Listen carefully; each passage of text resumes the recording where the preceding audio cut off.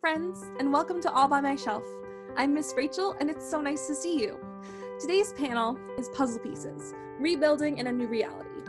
Five incredible middle grade and young adult authors are here to talk to you about what it takes to build a book where the main character has gone through something that has changed the everyday, just day to day workings of their life.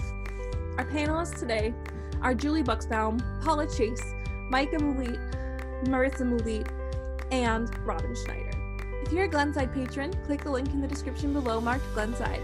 It'll bring you to a list of all of the books talked about during today's panel that are available as ebooks for you to check out now, or you can fill out the form that's listed there, and then you can tell me exactly which books you'd like to have put on hold for you in hard copy when the library is able to reopen.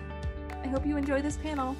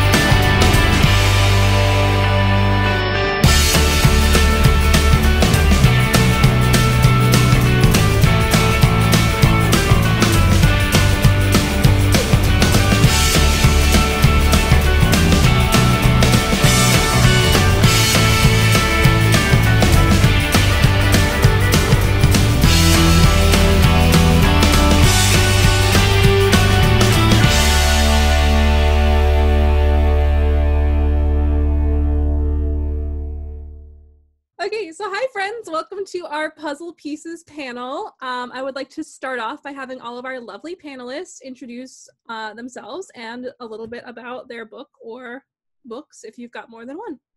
So whoever would like to go first, go for it.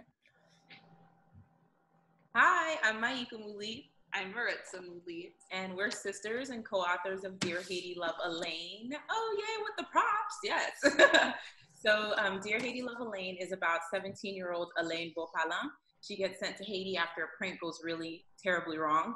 And while she's there, she learns about a family curse and sets out to try to break the curse. And in the process, she learns about her culture, her family history, and even is able to reestablish a relationship with her mom.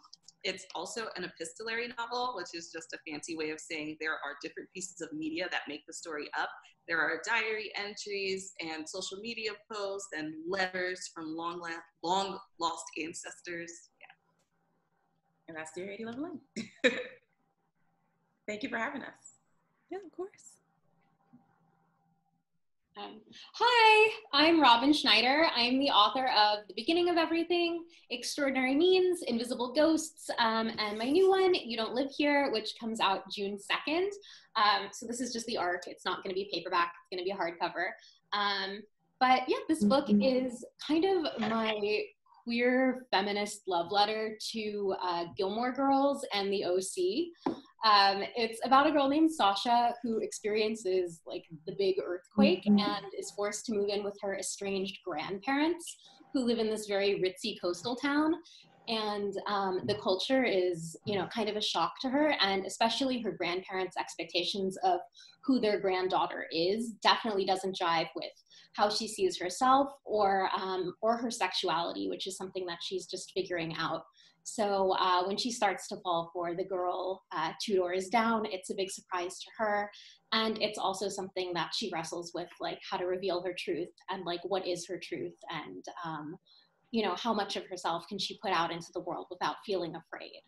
Um, so yeah, that's that's my new book, and I'm super excited to talk about it.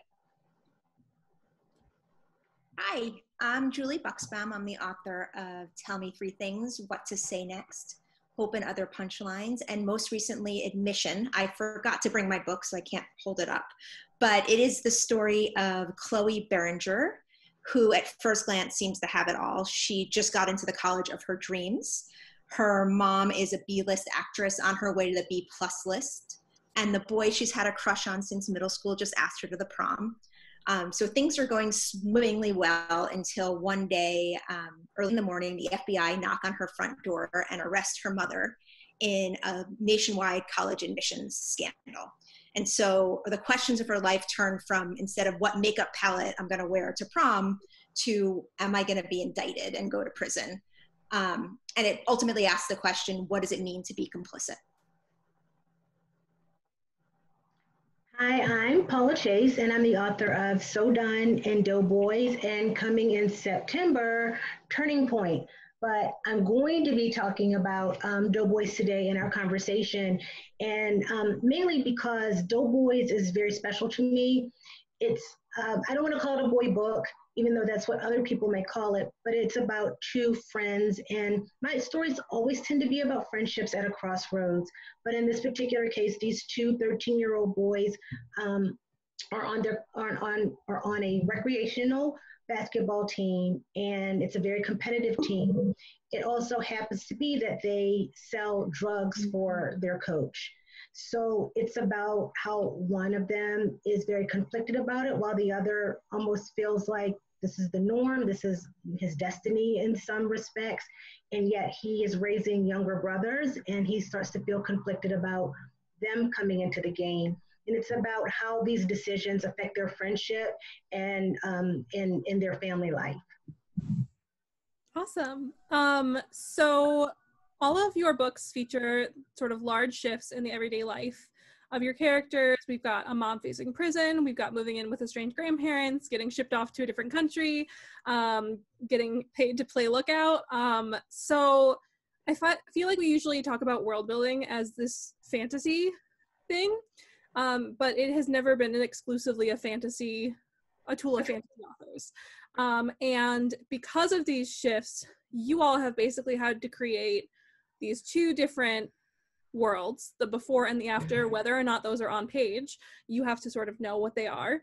Um, so I wanted to talk to you all about that and like writing and outlining um, your stories. So did you sort of establish that norm for your character and then mm-hmm. shake it up? Or did you discover their past sort of as you were writing their present? I am a notorious pantser. I wrote something from an outline recently and found it really refreshing. I've always been very afraid of doing that.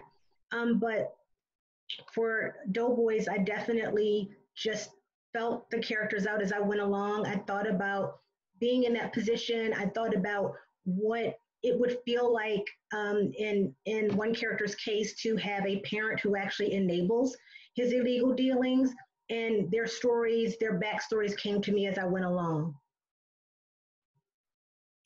with admission um, i did a, a, structure in which it was it's you know it starts with the fbi knocking on her front door and then it flashes back to then the fall of her senior year and each mm-hmm. chapter alternates which i have never done before. Um, and the reason why i did that was because i felt that the ultimate mystery of the story wasn't whether her mom did it. We know from the very beginning that she did. What we don't know is how much chloe knew about what was happening. And so it was sort of fun to watch her slow knowledge um, with a with a, a narrator we don't fully trust, and at the same time to watch the fallout and to go back and forth in time. Um, in terms of understanding what I knew beforehand, I didn't actually know how much she knew. I knew I wanted to explore willful ignorance and what that feels like and what it would be like to be in the head of someone who is actively trying not to know something. Um, but I didn't I didn't have all the facts in place when I sat down to write. And I would literally flip back and forth as I was writing. And I wrote it linearly, even though it went fall, spring. I, actually, that's not right. I wrote it, I wrote fall, spring, fall, spring, fall, spring, I should say, not linearly. The exact opposite of what I said.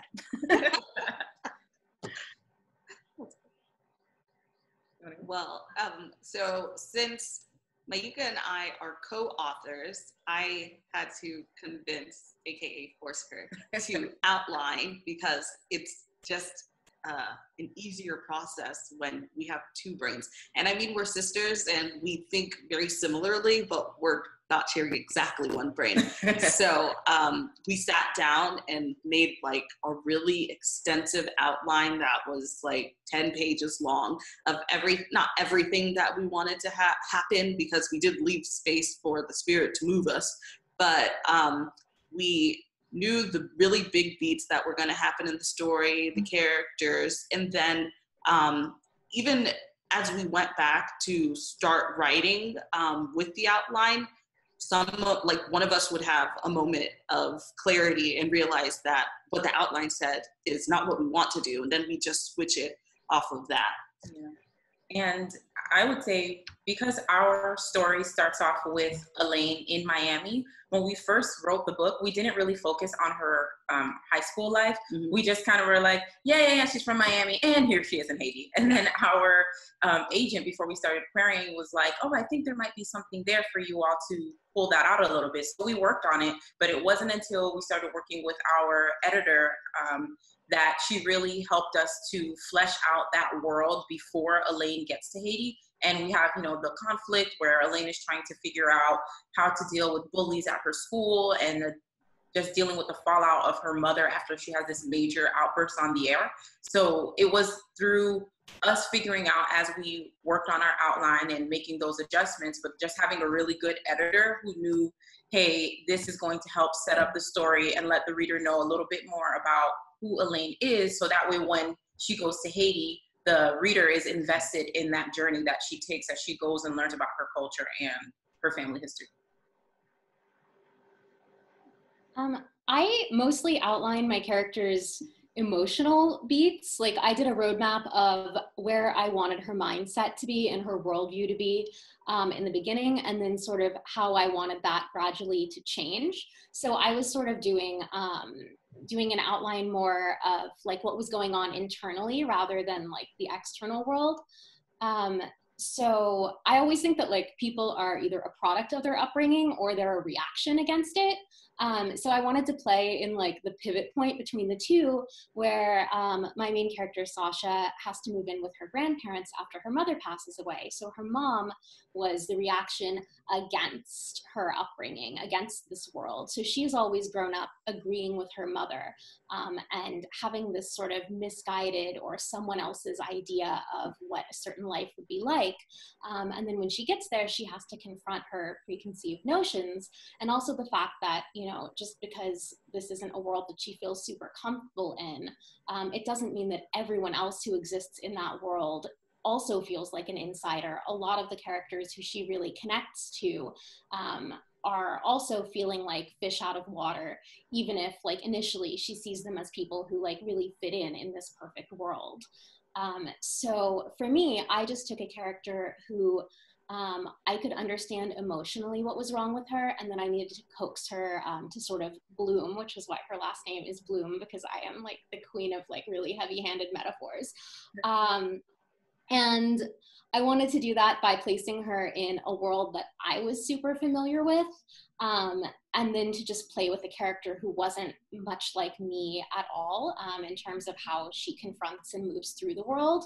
But, you know, this is an own voices book. So for me, like, um, her questions about being bisexual um, were very much like questions that I had, and the answers that I gave her and like the journey of self discovery is a journey that I very much like needed to read about when I was her age. Um, so in that way, like I just mostly was dealing with character and having her um, rebuild a world that she thought she knew after stepping into it and realizing that she didn't. Okay, so uh, the title of this panel is Puzzle Pieces. We're talking about rebuilding and sort of these new realities that the characters are living in. Um, and some of the pieces in the puzzle of these characters' lives are the people around them. And so I wanted to know uh, about your favorite supporting character in your book to write um, and anything you can tell us about them without being a spoiler.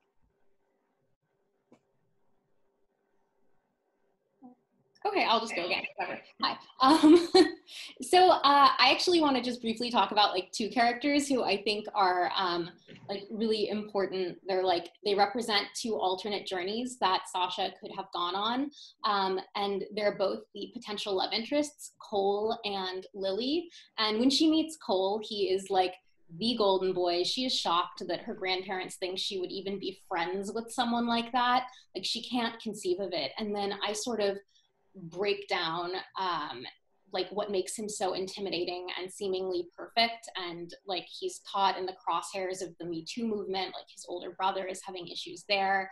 And um, the way he's idolized his older brother informs how he treats um, the people that he interacts with. And he has to have a really big reckoning about that.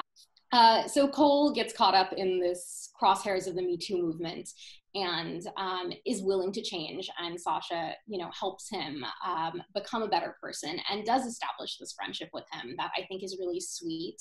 And um, through her sort of needing to be a guiding character to him, like becomes a little bit less terrified of that world. And then there's Lily, um, who is just like the girl next door, like the fearless independent, like artistic, badass, um, like yeah, I, I adore her to pieces. She's not afraid of what people think. She's not afraid to speak her mind.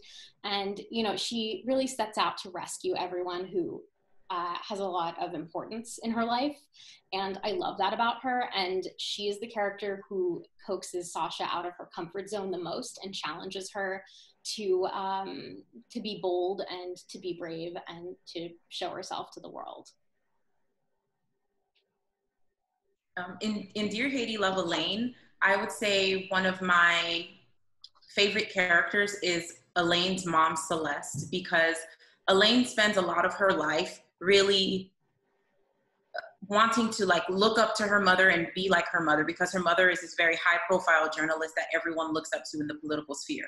And alaine doesn't have that relationship with her mom because she grows up with her dad in miami while her mom lives in uh, dc so in this process it's really important for us to have our readers know that sometimes your parents are just trying to figure things out themselves and alaine does not at the beginning of the story she doesn't realize you know the different choices that her mother made and why she made them and she learns more about that process throughout.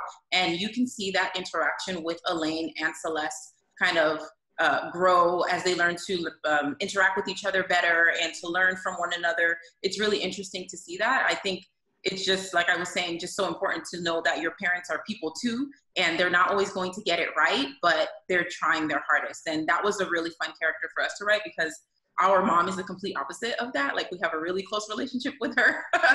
so going through that whole process of having someone who is not as tight with their mother was really fun for us to dive into. I would say that mm, one of my favorite side characters is Tatiana, who is um, Alaine's best friend.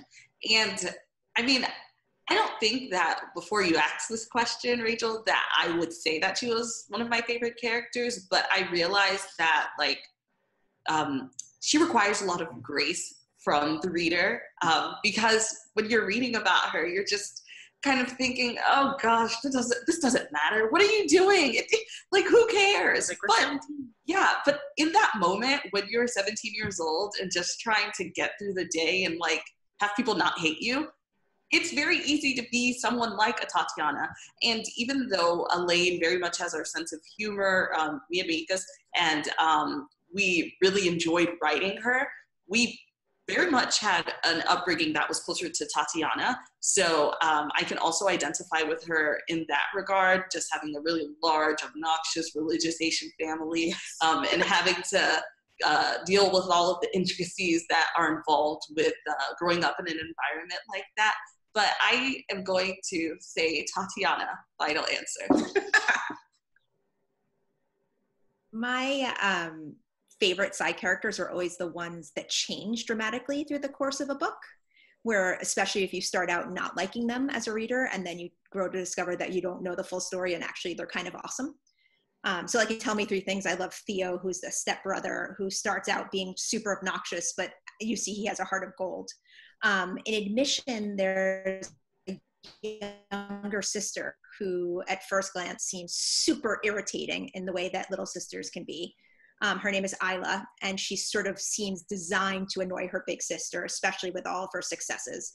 Because Chloe, the main character, is not academically successful at all, and yet her little sister is sort of this academic superstar. Um, but as the, the book goes on, you start to see that Isla is sort of the hero of the story in many ways, and really um, just a genuinely hard worker who wants big things and just like most women who want and it, you know are ambitious and they make us uncomfortable i think our first reaction to isla comes from that sort of misogynistic or subconscious misogynistic place. Um, and then we grow to love her or at least i hope the reader grows to love her in the way i did. The two care well and, and we're cheating because i think we all mentioned two characters. And i think you asked for one but the characters that um, the side characters that I thought that I liked the most were the two adults, the two opposing forces that were mentors to my characters. We have Mr. B, who is the mentor to Raleigh and trying to encourage Raleigh and get some opportunities, and he's supportive. And then we have Tez, who is the basketball coach. What I wanted to do was to make sure that it was about the teen characters and their secret world outside of adults. But I think it's very difficult in Black culture to write a book where the adults are not a really kind of key part of it um, because there's just this there's there's just kind of this cultural connection where you're either afraid of that adult that's in your life or you want to be like that there, there's always something there they're they're not they're not easily ghosted. And so those two characters are very very different. We have tez who is who considers himself the general of the basketball team on and off the court. And the effect that he has on the two boys we see it throughout because one respects him and one is sort of over him already. And then you see Mr. B, who is this, you know, who comes from the same type of working class neighborhood and he understands where the characters are coming from. And he's way more nurturing and supportive. So it was fun to write them both because they were so different. And yet we know that Coach Tez still sort of cares about the boys, even if his care is more of a selfish thing. Okay, so um, this is one of the questions that I'm adding in that I didn't send you all ahead of time. Um, what was sort of your journey into writing these contemporary stories? Um, did you always think you were going to end up writing contemporary? Um, did you try something else initially and then land on this? Um, what was sort of that that process of figuring out, yeah, contemporary is where I want to be? So I used to write adult novels before I wrote young adult. Um, and so my issue has never been whether it's contemporary versus fantasy. It's sort of been whether it's adult or YA. Um, I, I'm not a huge fantasy reader, and so I I don't think it would make sense for me to write fantasy. I don't quite get it. Um, so I've, it's never been a question for me. I've always written contemporary, um, and I I think it's basically a failure of imagination on my part. Um, in fact, even when I'm watching movies, I, I, get very uncomfortable watching anything not grounded in the real world. Mm-hmm. Um, things that are set in space freak me out. I don't even like cartoons because they're not they're not real. Um, I like I like to get my my imagination is very limited, so I only like to see things that are that would actually happen in real life. I I wouldn't say that. Well, first, um, I know that we our first book is contemporary, and we have a second one that will be coming out, but we can't talk about it yet. Um, but I don't think that we will stick to contemporary. Contemporary for us, it's just a matter of finding the story that we're most passionate about and that we feel that we can tell the best at the time that we're writing it. Um, and growing up, I read all kinds of books, romance novels that we had no business reading, um, uh, fantasy, uh, contemporary, sci-fi, it just really depends on the mood that I'm in. And I want to be able to write whatever it is that I want to write. Um, I think it's it's exciting when you have characters, especially characters who look like us, who are able to be present in stories across any kind of genre, whether it's stories that are helping people to grapple with the pain that we feel sometimes, or others that are just purely rooted in the joy of being alive. Like we want to be able to talk about whatever character it is across whatever the genre. And uh, to me, that's exciting. And I, I for us, I don't want to stay only within contemporary, although I have a special place in my heart for it. And in terms of how we came to write Dear Haiti, Love Alaine, um, Maika and I have always loved reading. You know, we spent every weekend at the library with our two other sisters because our parents were mean and wouldn't let us watch TV on the weekdays. so um, we checked out lots and lots of books, and they were awesome and amazing. And I mean, I am probably like uh, Anne of Green Gables' biggest fan, and Hermione Granger and Alice McKinley and all of them. But um, we didn't have a lot of uh, role models that were young black girls just living life, or even more specifically, a Haitian American girl who's growing up and trying to figure things out and make stupid mistakes like everybody else. Um, so when we decided to write together, um, we a never ever finished a book separately. Yeah. Um, so it worked out working together. Yeah. but we decided to write the book of our heart that we would have loved to see when we were kids growing up checking books out. So that's why we picked this. And the beauty of contemporary is that you can see yourself in that world, even if you aren't physically in Miami or Haiti. I mean, it's totally possible. Um, so yeah. I'm shocked that I actually write contemporary fiction. Like, I've always just felt in my heart that I'm a fantasy writer. So it's wild to me that I'm like four contemporary books in um i mean i always say that i keep my heart in one genre and i keep my bones in another um so you know you never know um you never know where a story is going to land for me i always start with something that i feel i learned in my life a little too late that i wish i had learned about myself or about the world earlier on um, and once I like assign that sort of like revelation to a character who I find interesting, um, the world just drops into place. And sometimes it's a world that's full of ghosts. Sometimes it's a world with an illness in it that doesn't exist. Sometimes it's 16th century England, but most of the time it's third period English class um, in a high school that looks a lot like my high school and with a character who looks or feels a lot like me or like a character that I just am not seeing in coming of age stories, particularly whether that's like a bisexual girl who um, is very feminine and loves fashion and loves makeup and definitely likes boys, but like, what is this thing with girls? Or whether it's a Jewish character, somebody with an invisible disability, somebody with a chronic illness. Um, I think the stories just sort of build themselves in that way. Um, I'm a huge fantasy fan like oh my god i have been to harry potter conventions in like full hogwarts costumes. Um, i hosted um, for doctor who um, a review show for them like on the radio and on their website like the doctor who reviewed site for years. Like i cut my teeth in the world of fandom and even if i'm writing a contemporary story i always write characters who are fantasy like nerds at heart. Like even if they don't you know do magic um, they are definitely Harry Potter fans. So, I mean, I guess that's how I cheat it and how I like bring my heart and my bones into like the same story. I'm like pointing at Mertz's shirt. She's wearing her Ravenclaw shirt. I see her Ravenclaw shirt. I raise you my like. I don't even think you can see it, but I have a sign in the back that's from um, the Shades of Magic series, and it says "Dream of Stranger Worlds." Yeah.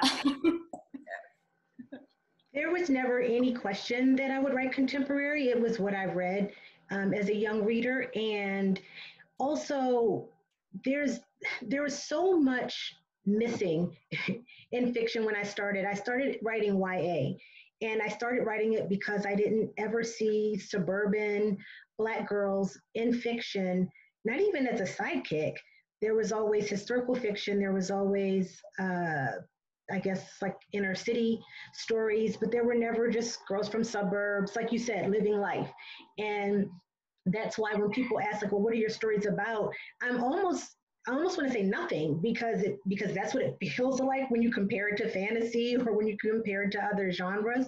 But it is just black girls, black boys living life because I never got to see that. So there was never a question that I would write it because there were just so many stories inside of me that you know, would reflect those particular folks and they're they're just missing all the time. So it I I like to read fantasy, I like to read horror, I love mystery, but I think contemporary will always have my heart in terms of my go to. That's fair. What's the hardest part about writing contemporary? Oh, okay. Someone else, not me.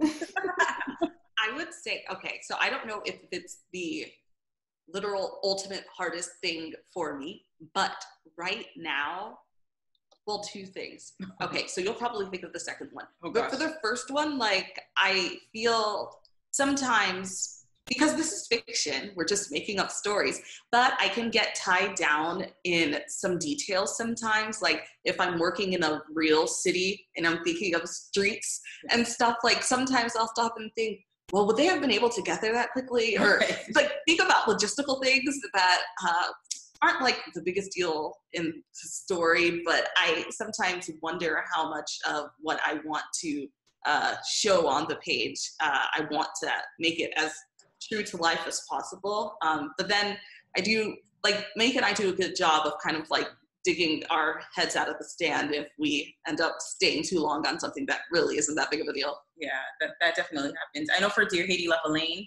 we have one scene where um, she's visiting the Citadel, which is a very historical uh, monument in Haiti, and we were like, this takes hours for you to, you know, take a donkey, get there, maybe motorcycle up the mountain, blah blah blah. So we made it take like 15 minutes in our book, but we were just like, this is what we're gonna do because we don't want to get bogged down in the details.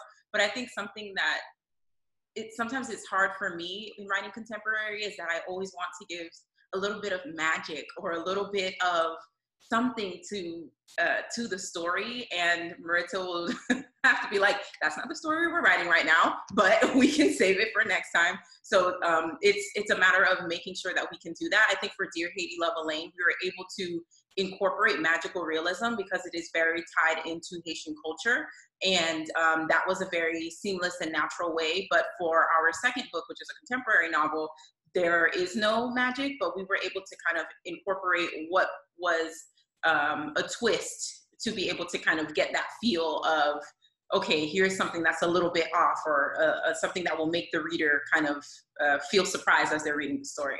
And I'm also very, very curious to see what books will look like a year and a half, two years from now, Yes. based on what is going on in our world right now. So when you're writing that contemporary story, like, are you thinking about putting in that party scene? Are, are people going to be uh, communing in Times Square for a really dramatic moment in the story that like people would gasp at and be really excited for? Like, I don't know what things are going to look like, and it's kind of driving me crazy, like to think about. Yeah.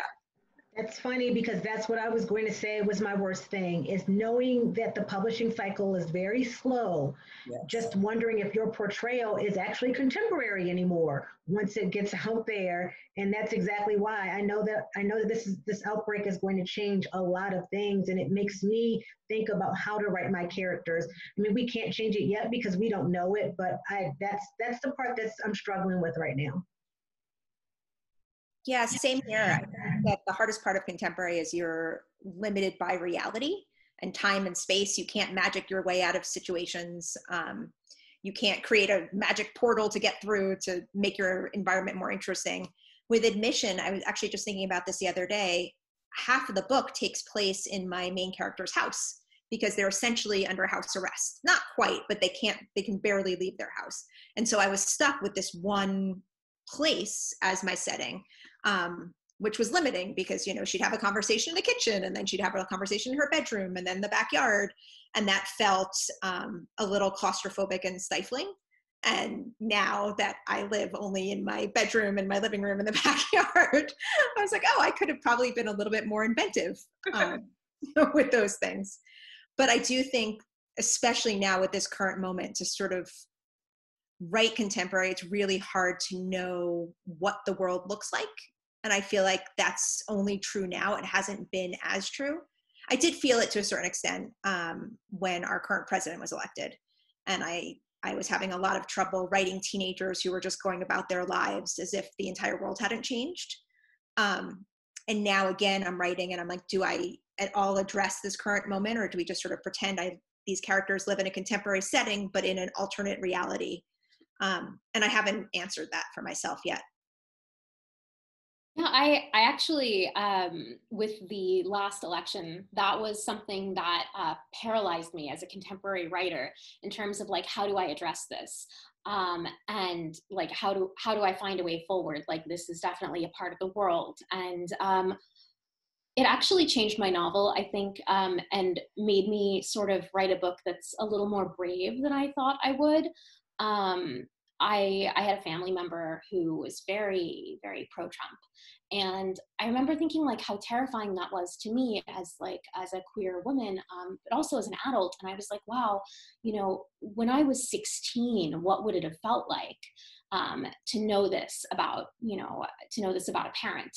And um, and that's sort of where the story came from. Um, I was thinking about like the shift and it was so hard to write but i just sort of tried to power through it the idea of like coming out as queer in a world that feels really accepting and then watching the world take a step back um, right after you've done that. And what do you do? Like what do you do when the world is no longer a soft place to land and the people around you are no longer um, potentially people who have this like unconditional love and see eye to eye with like with your point of view um, and I don't know if I got it right, but I definitely, um, you know, writing something that felt so close and like, you know, the more exaggerated version of a small fear that I had, like magnified into, I think, how it would have felt to live through that moment as a teenager um, or how I imagined it would feel.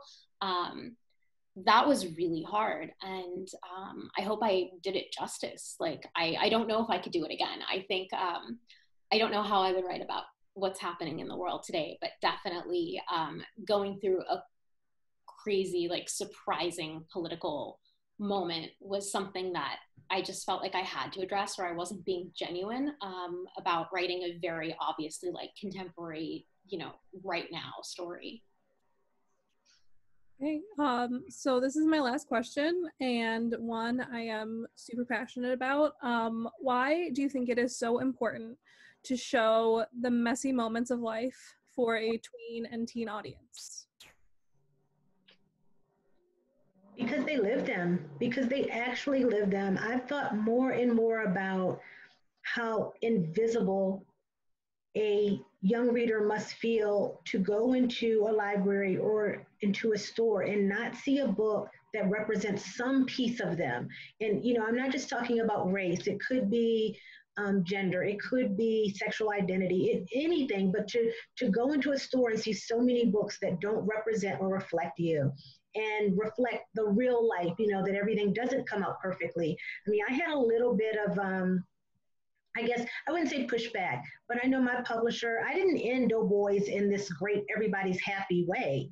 And that's because the life that some of these students live, these kids live, ends like that. They're still stuck in it. They didn't just all of a sudden stop selling drugs or stop doing what they were doing. So it's important to me because I want them to feel seen and heard. Yeah, I think so much of like what we see on social media is highlights only. Um, and it's, it's like the entire world thinks it's so vital to pretend that we all have it together at all times. And we can look around and just think like very easily, like everyone else is just going through this without a struggle and my struggle is crushing and why is no one else like why is no one else feeling this way? So i think um, in like showing messy stories um, we're kind of revealing like the secret truth of if you could see inside the head of somebody else if you could see into the experience of someone else whether it's like a mirror of an experience or like a window um, into something that like you don't relate to.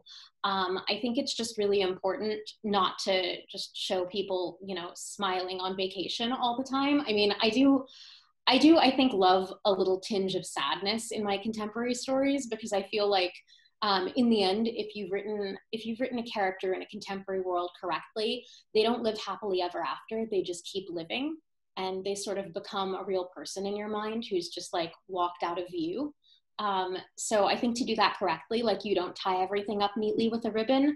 Um, so if you don't tie everything up neatly, then, you know, like why sweep the mess out of frame? Yeah, I agree with what everyone else said. I think um, we sometimes forget that messy lives don't just start at adulthood.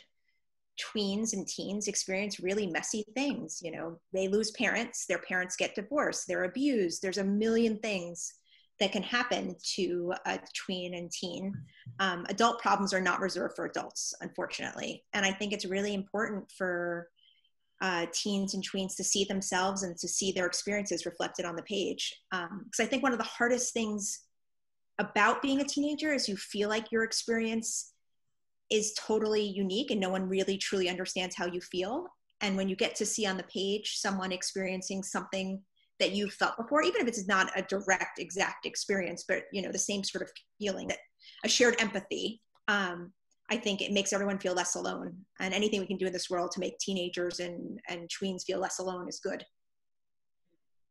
I think for me, it's important to tell the messy stories because one, without them, life would be pretty boring because we all have messy moments. And a lot of times we like to try to make sure that we're living these perfectly curated lives, that nothing is out of place, but that's not actually true.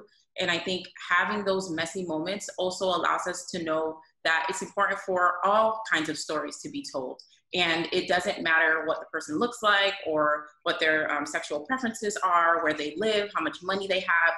Everyone's story deserves to be told. And sometimes it just so happens that the most marginalized of us don't get to have those stories told as frequently. And I want that mess to to you know to live and for people to see it and to grow from it and to hopefully maybe even get some tools that they might be able to apply in their own lives to help them through everything that they're going through. So, yes to the mess. yes to the mess.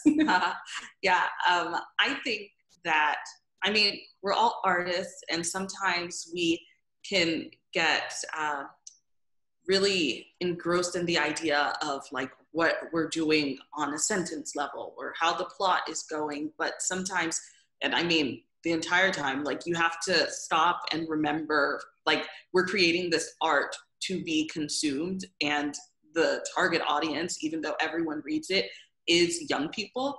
And um, i mean everyone's favorite children's literature scholar uh, professor rudine sims bishop like she talks about the sliding glass doors the windows and mirrors and how people can, young people can look at themselves through these stories and feel like they're not alone.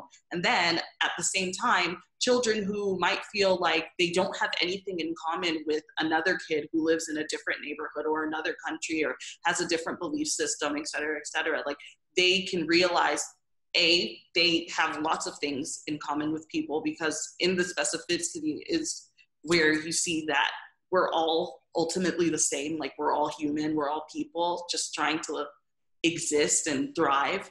Um, and then at the same time, you get to get a glimpse of another person's experience. And I think that's very, very important as well to realize that we're all different. We have things in common, we have things that set us apart, but it doesn't matter. Like we're still people. Yeah. Um, thank you all so much for taking time out of your day to do this. Um, can we sort of go down the invisible line um, one last time and reiterate who you are, um, what your book is, and where folks can find you on social media? Um, sure. Well, um, I'm Robyn Schneider. I'm the author of The Beginning of Everything, Extraordinary Means, Invisible Ghosts, and coming June 2nd, You Don't Live Here. Uh, you can find me on social media.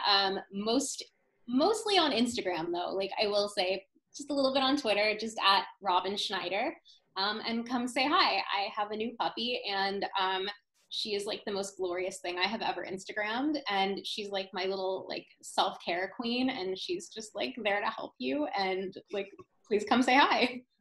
Uh, I'm Maritza Moulite. And I'm Maika Moulite. Uh, you can catch me at Maritza Moulite everywhere. Our website is maikaandmaritza.com.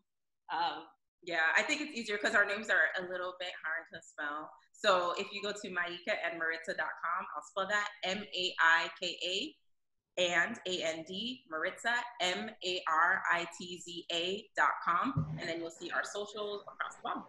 Yeah, it'll, have, it'll all be listed. So oh yeah, it's gonna be virtual. Okay, yeah, awesome. Woo, technology. Oh yeah, we wrote Dear Haiti Love Alaine. We forgot that oh, yeah. okay. Like, what are we doing here?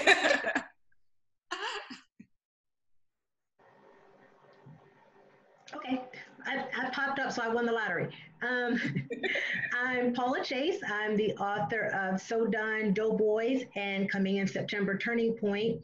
You can reach me at paulachasebooks.com. On Twitter, I'm at that MG Book Chick and on Instagram, I'm that Paula Chase. I'm Julie Buxbaum. I'm the author of Tell Me Three Things What to Say Next, Hope and Other Punchlines, and next up, Admission, which is coming out December 1st, um, wherever books are sold. And hopefully, there'll be stores again then and libraries, and we'll be out in the world. Um, oh, social media. I am Julie, I'm at Julie Bux on Twitter and at Julie Buxbaum on Instagram. And my website is juliebuxbaum.com.